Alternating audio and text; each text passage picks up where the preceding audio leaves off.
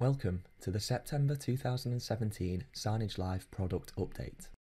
We'll be looking at the changes made and new features introduced to Signagelive in this update. We've made some important back-end changes that have increased the speed of loading for the player dashboard and player manager areas. So heading into them should be noticeably faster. While we're in the player manager, we can take a look at the changes made across the platform to pagination. You can now select multiple items across any number of pages and they'll remain selected when you change pages within a specific module. You can also use the filter menus to view selected items only, a great tool if you have lots of players, licenses, users or contents to select at any one time.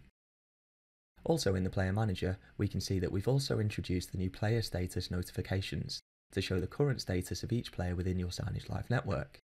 We've used the familiar traffic light colour code seen across the rest of the platform to show this, and making it more obvious when a warning or alert could cause an issue with your content being shown.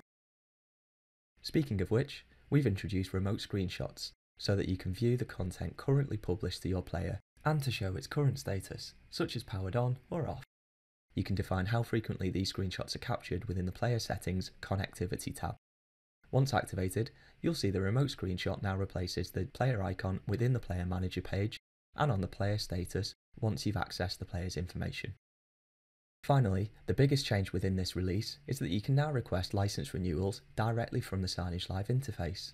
This can be done by any network administrator from either the license page or the player manager, and you can also request multiple licenses at one time. Each request will be sent to Signagelive and our sales team will liaise with your reseller partner before the license is automatically applied to your network. If you have any questions about any of the changes made in this update, be sure to check out the Help Centre or speak with our team.